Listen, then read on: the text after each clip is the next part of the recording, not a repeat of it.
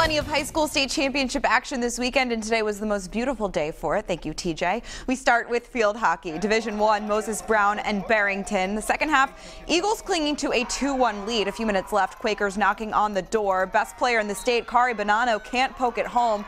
A frustrating day for the Quakers, but in the final seconds, breakaway. But Callie Durkin flies out of the cage, making a game-saving stop. Barrington wins 2-1. It's their second title in three years. This group of seniors is so amazing. I can't thank them enough. They're all so supportive, and it's I can't even believe this is the perfect ending to our high school season.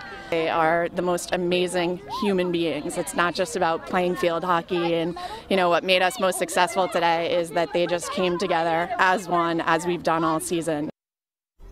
In D2, a rematch from last year, the Lincoln School and the Wheeler School. Warriors goalie Victoria Kelleher came to play. She saves left and she saves right. Big stops for her all day long. Then late in the first half, Wheeler trying to break through. Olivia Bush fires and it's tipped in by Sophie Stowe. The Wheeler School repeats as D2 champs 2-1 your final.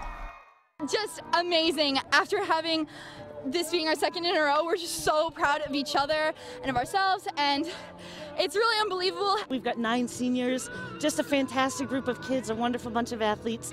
It's special to send them off on, on the highest note.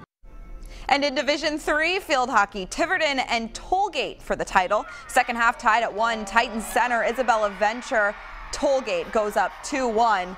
And this one goes to overtime. Tiverton, Sasha Duggan scoring the game winner. Tiverton wins 3-2 in OT.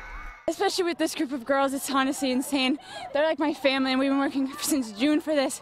And we were like in fourth place, and now we made it here. And it's honestly, this is the first championship I've been in all my four years, so it's honestly undescribable.